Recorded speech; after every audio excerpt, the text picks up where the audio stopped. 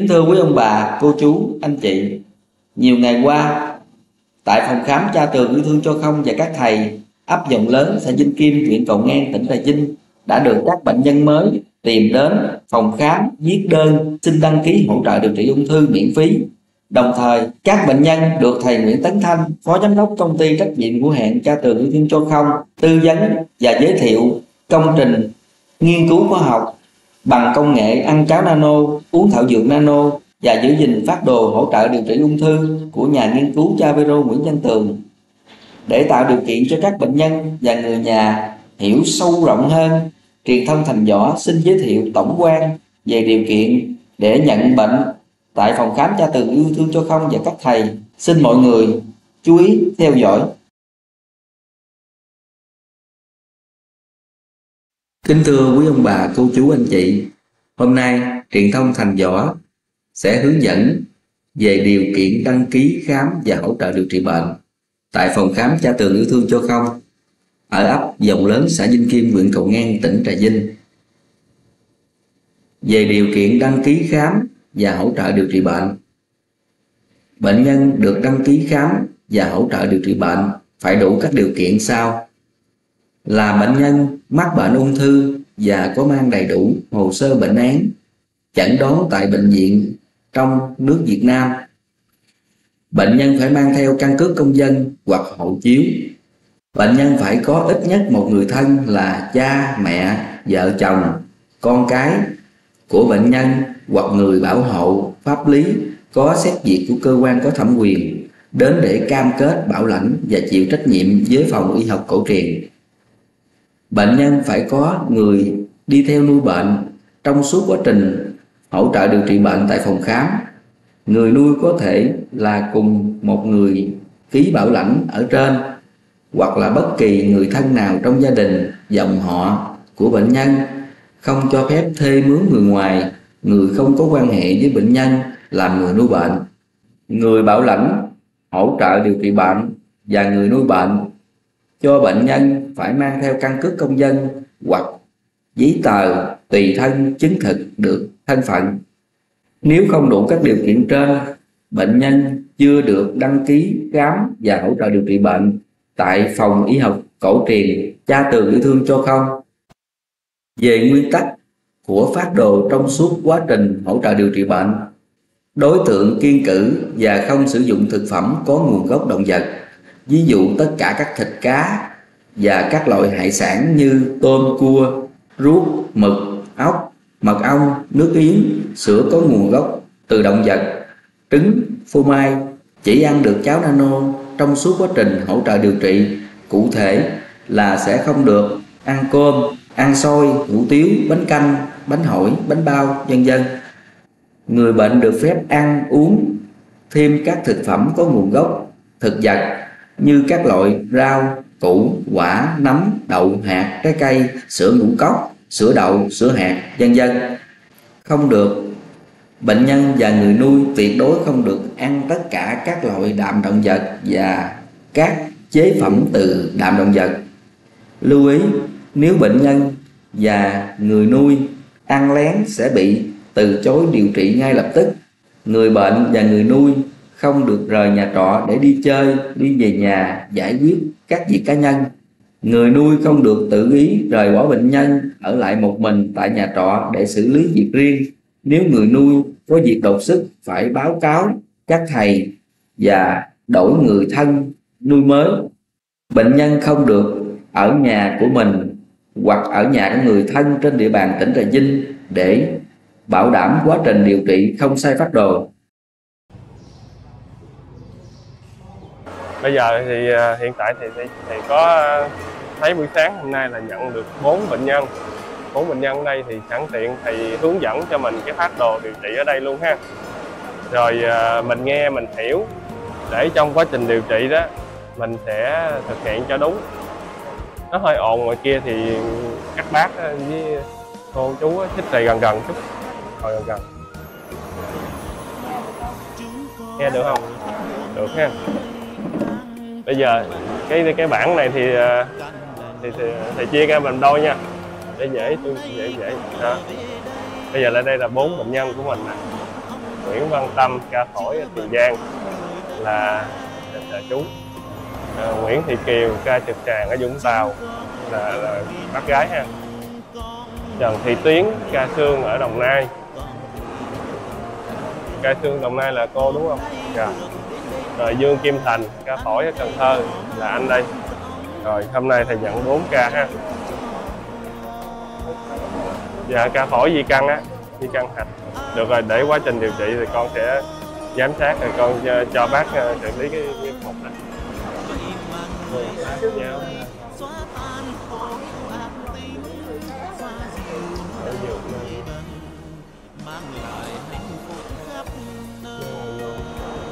ở đây á à, cha tường sử dụng cái phương pháp cháo nano thảo dược. Nano là phương pháp cha nghiên cứu 20 năm.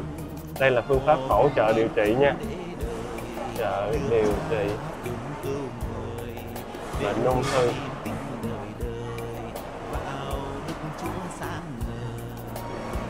Ở Tây Y, khi mà mình phát hiện bệnh ra là mình làm sinh thiết.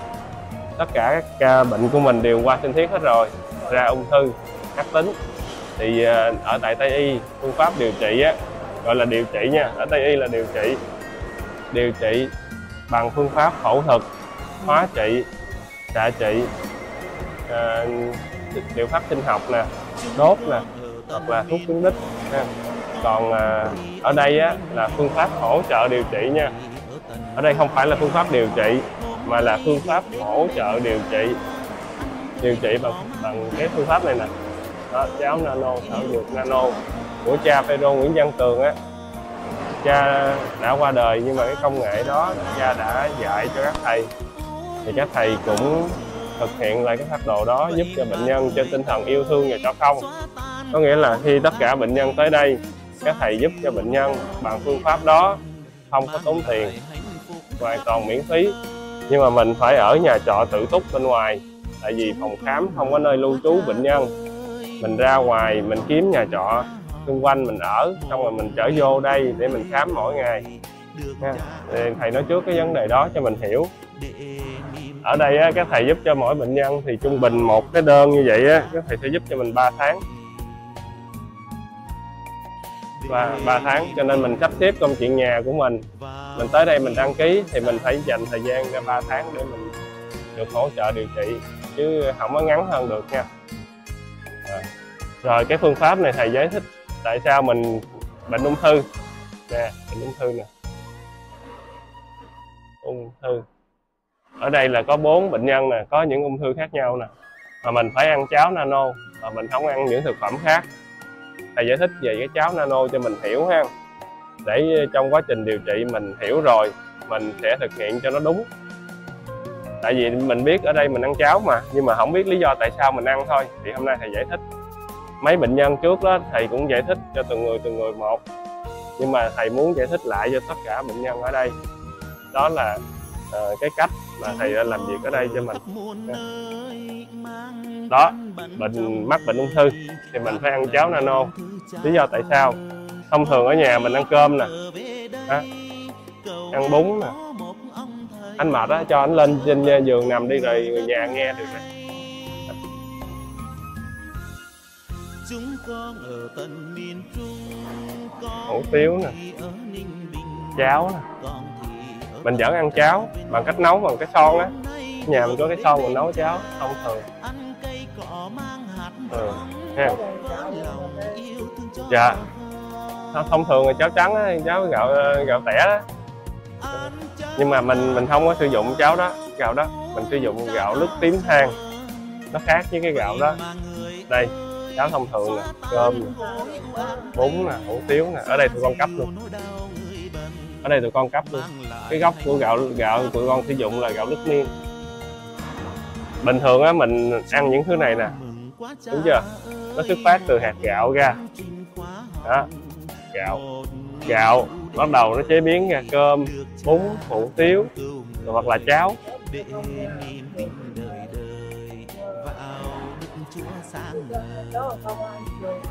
Cháo sẽ ăn với ờ, ví dụ như ăn với muối hột hoặc là với nước tương.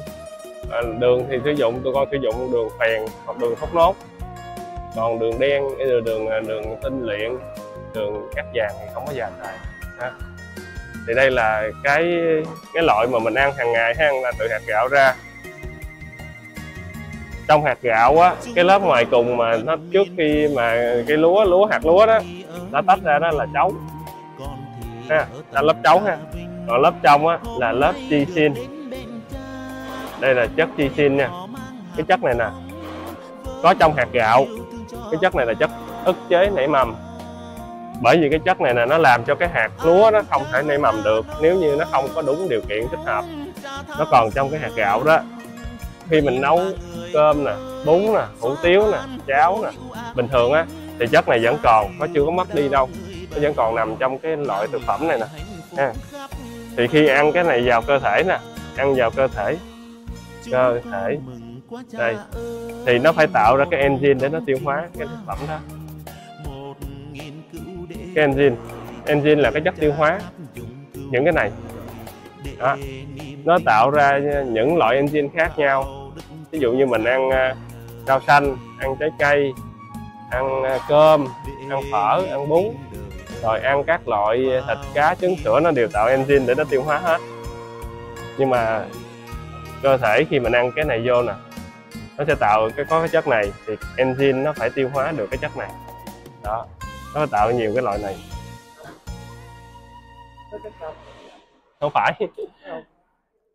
Đây là cái chất tiêu hóa. Để tiêu hóa cái chất này ở trong hạt gạo cơm á nó phải tiêu hóa được cái này. Đây là cái hệ thống um, tiêu hóa. Tiêu hóa. À, tiêu hóa ha.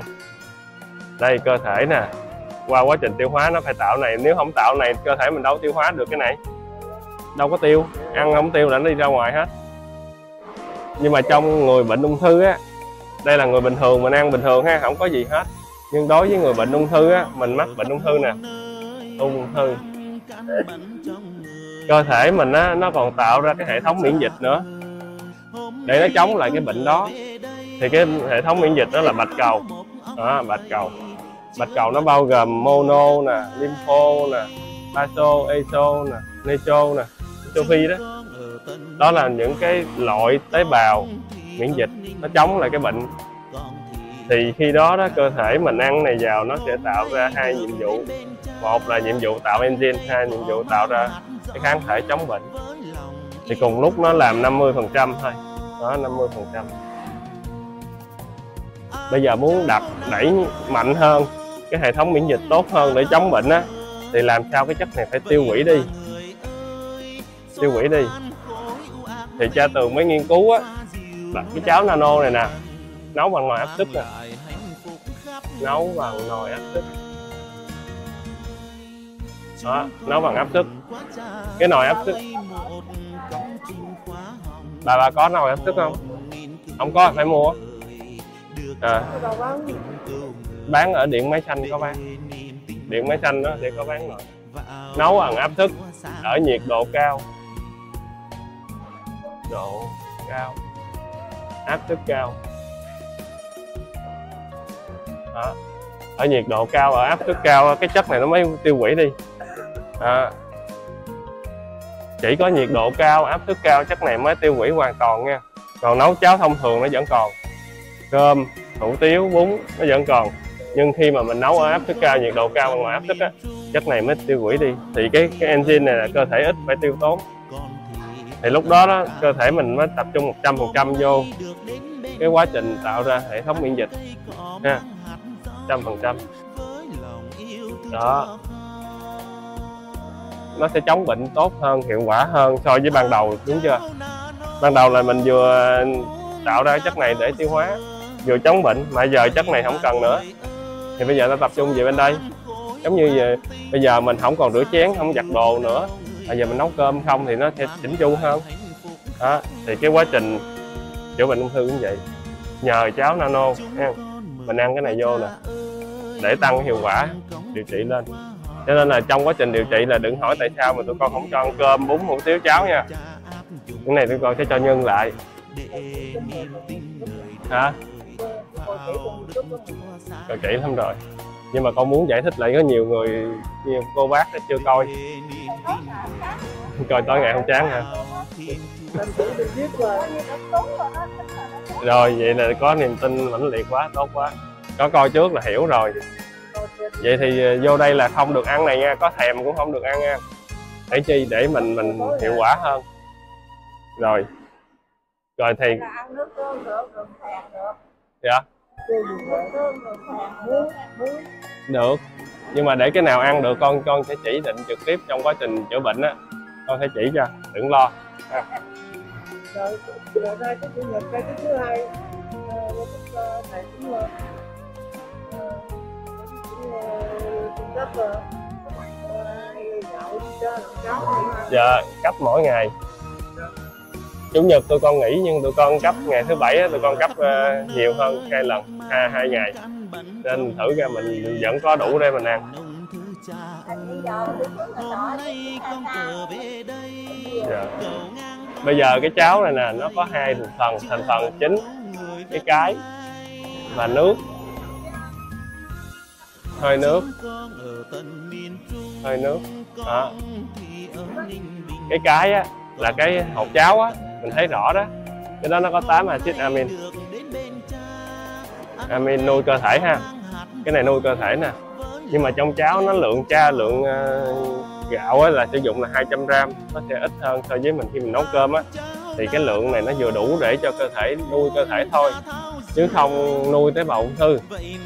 Nó không đủ cái nguồn nuôi tế bào ung thư. Nó chỉ đủ nuôi cơ thể thôi. Còn cái nước nè, nước và hơi nước nè ở nhiệt độ cao, áp suất cao á, cái hạt gạo này nó giải phóng một số chất cần thiết, nó trở thành thuốc. Mình thấy cái rượu á, rượu trắng á, nó bốc hơi lên á, rồi nó cô động lại, thì nó trở thành rượu. Nhưng mà mình sử dụng trong những cái mục đích, ví dụ như là bông gân, chật khớp nè, hoặc là so bóp gì đó, là mình hay sử dụng rượu trắng lắm. Nó là thuốc, đúng chưa? Nó làm từ hạt gạo ra. Nhưng khi mà bún, cơm, hủ tiếu, cháo thì không có nhiệm vụ đó, không có chức năng đó nhưng mà nấu thành rượu thì nó lại có chức có cái cái tính chất là thành thuốc cho nên là ở nhiệt độ cao áp suất cao nè cái nước nè với cái hơi nước nè nó cũng là thuốc á.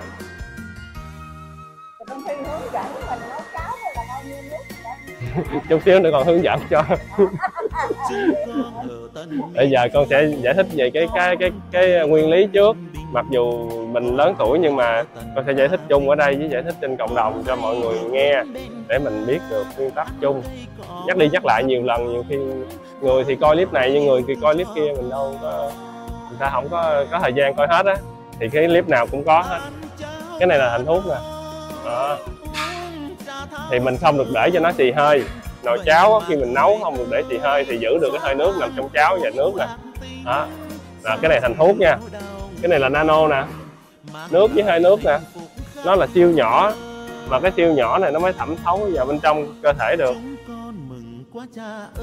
Và cơ thể mình là 70% nước chất lỏng nè. Đó, nó mới thẩm thấu vào bên trong cơ thể, đặc biệt là trong tế bào ung thư á. Ung thư nè. Đó. Nó có những mạch máu để nuôi tế bào ung thư. Đây. Thì cái này nè, nó mới thẩm thấu vào trong đây. Nó mới bao bọc lấy cái khối u đó nó khuếch tán, nó đào thải đi. Đào thải đó vậy là nguyên tắc của nó là vậy. Để chống lại bệnh đó nha cho nên vào đây là mình phải ăn cháo nha. Mình không ăn cháo được á, là là không có cách nào giúp. Chuẩn bị tinh thần. Rồi vậy con bôi được chưa? Con bôi thuốc này được ha.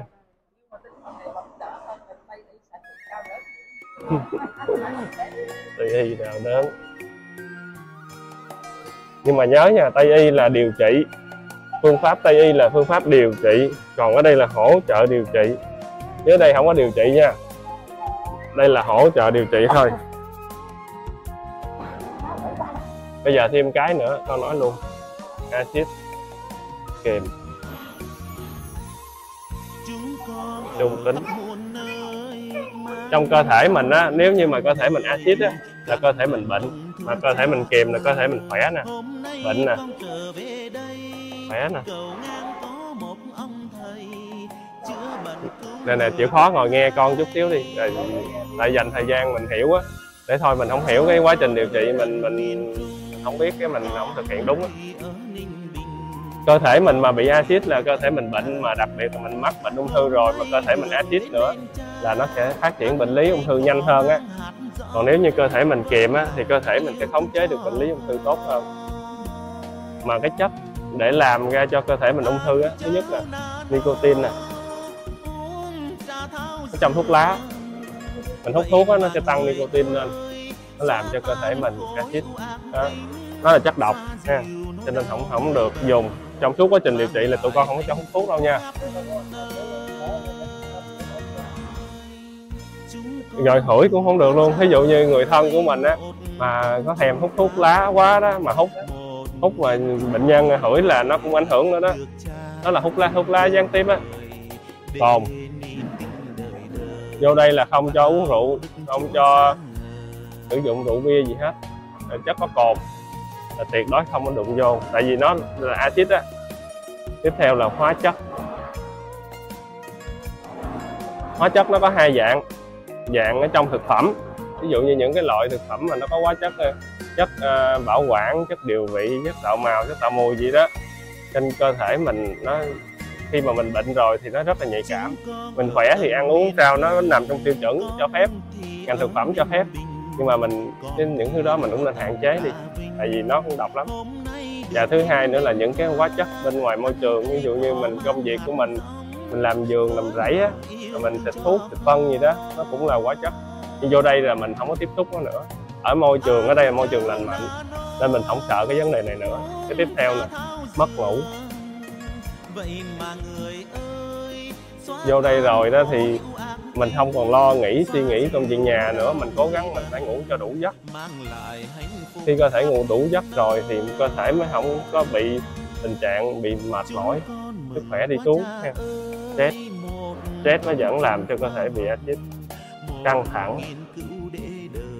Cho nên là đi tới đây rồi á, mình phải bỏ hết những công việc nhà nha. Thu xếp hết đi, rồi mình tới đây. Lạc quan, đúng. Kế tiếp là đạm động vật cái này là rất dễ. Dính. Thịt, cá, trứng, sữa, nước yến, da ua đồ đó. Là nó là đạm động vật hết. Và đạm động vật nó là axit nó nuôi tế bào ung thư. Hai nguồn nè, casein nè. Casein nó có trong sữa nha. Sữa tươi á, mình uống sữa tươi á là nó sẽ có cái nguồn này và glutamin glutamin nó có trong thịt. Hai chất này là hai chất nuôi tế bào ung thư nè. Cho nên là vô đây là tụi con tuyệt đối là không cho bệnh nhân đụng tới những thứ này nữa. Bên cạnh đó thì tụi con sẽ cho bệnh nhân sử dụng bên những thực phẩm kèm, cháo nano này nano. Này. thảo dược nano. Này. nano. Nước kèm. pH 8.5 đến 9.5 cái cuối cùng là rau xanh trái cây. Trái cây. Trong đây tụi con sẽ không cho bệnh nhân sử dụng những cái này nhưng mà bên cạnh đó tụi con cho ăn cháo cho uống thảo dược cho sử dụng nước kiềm có thể một số bệnh chỉ định khác nhau ở cái lượng rau xanh trái cây tùy vào bệnh đó. Ví dụ như người đó bệnh à, ung thư mà kèm tiểu đường thì ăn loại rau nào? Rồi bị táo bón ăn loại, loại nào? Rồi, à, rồi bị à, đi cầu tiêu chảy thì ăn loại nào? Đó tụi con sẽ điều chỉnh mỗi ngày về vấn đề này. Nhưng mà rau xanh trái cây nè những thứ này nè nó có tính kiềm tính kiềm nha tính tự nhiên. Ví dụ như mình thấy là bản thân mình đang ở đây cơ thể mình đang axit thì mình làm sao mình phải chuyển cơ thể đó về kèm? Khi mà cơ thể từ axit về kèm rồi thì bệnh lý nó mới dừng ít nhất bệnh lý nó khống chế được. Còn nếu như cơ thể mình đang axit á, là bệnh lý nó cứ tiến triển hoài hoài. Bên đây là giống như bộ ga nè. Cứ cứ mình đưa nạp cái này là cứ lên ga cứ chạy tới chạy tới thôi. Thì bệnh ung thư nó cứ tới thôi. Còn đây là bộ thắng của mình nè thắng. Đó, mình phải bóp thắng lại. Nhưng mà bóp thắng, vừa bóp thắng vừa lên ga là không được. Mình phải nhả hết ga về, xong mình bóp thắng. Là chiếc xe của mình nó mới dừng lại, thì ung thư nó dừng. Nhưng mà bóp thắng mà cái bệnh cái xe mình chạy nhanh quá quá nhanh. Thì nó vẫn còn chạy tiếp nữa, chứ nó chưa dừng. Mình bóp thắng từ từ từ cho tới một thời điểm nào đó nó mới dừng. Chứ không phải là vô đây ăn, nói là tôi không ăn cái này rồi, mà tại sao tôi không bóp? Là tại vì cơ thể mình axit nó quá nhạt nhiều. Mỗi bệnh nhân đây nè, bệnh nhân đây nó sẽ khác nhau ở cái bảng này. Có người thì cái chế độ ăn nặng về axit và cái sinh hoạt của mình nó nó nghiêng về đây. Nhưng mà cái cái người khác thì nó sẽ đỡ hơn chút. Còn người khác ăn uống kỹ lưỡng thì đỡ hơn chút. Thì cái người này nè, nó sẽ không bằng người này, nó sẽ không bằng người này. Nhưng mà dù sao đi chăng nữa, mình vô đây mình biết rồi thì từ đây mình chuyển qua đây.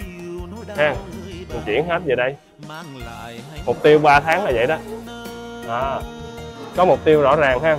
3 tháng tụi con cho ở đây là làm sao cơ thể của bệnh nhân từ axit nè chuyển về kềm để nó khống chế được bệnh lý.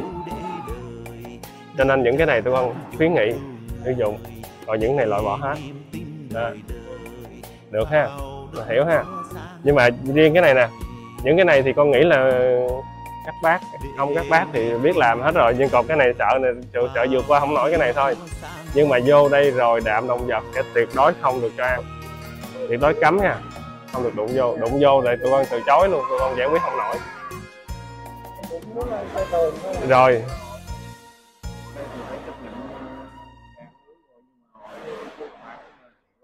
À, không được.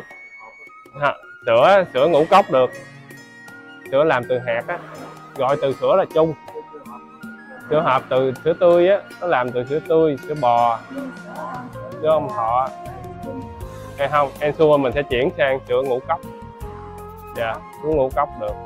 Sữa hạt á hoặc là hầm đậu hoặc là những những cái loại mà mà cung cấp đạm thực vật á thì tụi con sẽ cho sử dụng. Rồi vậy là khúc này biết ha. Riêng đạm động vật á thì người bệnh sẽ không được ăn nhưng mà người nuôi cũng sẽ không được ăn nha. Người nuôi thì không cần phải ăn cháo giống như người bệnh nhưng người nuôi sẽ không được phép ăn đạm động vật trong suốt quá trình điều trị. Nhiều đây là bà đi nuôi, ờ, bác đây thì bà không được ăn. Chị cũng vậy nuôi anh thì chị không được ăn. Và bên đây cũng vậy cô không được ăn. Rồi người nuôi của bên đây cũng không được ăn luôn. Ha để chi? Để bệnh nhân đừng có thèm không thèm là một, thứ hai là mình ăn như vậy, mình động viên tinh thần của người bệnh mình. Ừ con ơi gắng ăn đi. Mẹ ăn giống con nè. Ở đây chồng ơi gắng ăn em cũng ăn giống anh. Rồi mình nấu ăn như vậy, cái chế độ ăn mình giống, mình nấu ăn. Thì hai vợ chồng, hai mẹ con, rồi hai vợ chồng nấu ăn như vậy thì mình, cái tinh thần mình động viên nhau. Mình cố gắng. Chứ mà một người ăn mỗi kiểu là vài bữa bỏ cuộc ha. tụi con qua, trải qua nhiều, tụi con biết hết rồi và đi ra ngoài cũng vậy nữa. Ví dụ mình không ăn trong phòng, đi ra ngoài ăn được không? Vẫn không được. Ừ. mình đi ra ngoài mình ăn á, là mình vô phòng mình thấy bệnh nhân của mình ăn uống khắc khe quá, mình tội nghiệp. Mình nóng ruột lên. Nói mình sợ không đủ sức khỏe rồi cái mình mình mình cho ăn hay gì đó sai phát đồ. Nên là tụi con tới đây là đối với người bệnh bệnh thì tụi con không cho ăn. Nhưng đối với người nuôi, tụi con cũng không cho ăn luôn là để cho người bệnh chịu phát đồ ở cái mặt tâm lý. À, nha thì hiểu hết thuốc này ha. Rồi.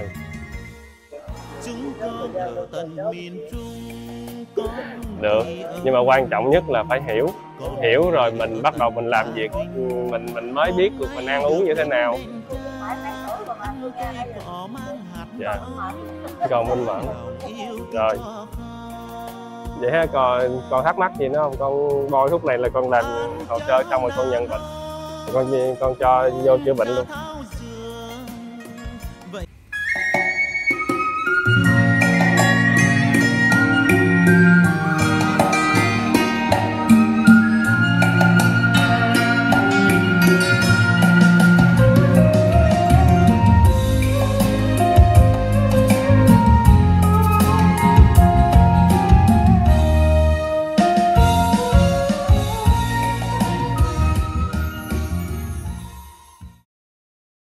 Truyền thông Thành Võ xin kính chào quý ông bà, cô bác, anh chị và các bạn. Hôm nay Truyền thông Thành Võ xin hướng dẫn đường đi đến phòng khám cha tường yêu thương cho không tại ấp Dòng Lớn, xã Vinh Kim, huyện Cầu Ngang, tỉnh Trà Vinh. Nơi Thành Võ đang đứng là đường Nguyễn Thiện Thành, cách nội ô thành phố Trà Vinh và trường đại học Trà Vinh 1 km. Thành Võ chuẩn bị di chuyển vào quốc lộ 53 hướng đi cầu ngang Duyên Hải. Sau đó rẽ phải vào quốc lộ 53. Phòng khám Cha Tường yêu thương cho không làm việc từ thứ hai đến sáng thứ bảy hàng tuần, chiều thứ bảy và chủ nhật được nghỉ. Đi thẳng khoảng 15 km nữa sẽ gặp nhà thờ Phước Hảo. Sau đó chúng ta sẽ đến cổng chào của huyện Cầu Ngang.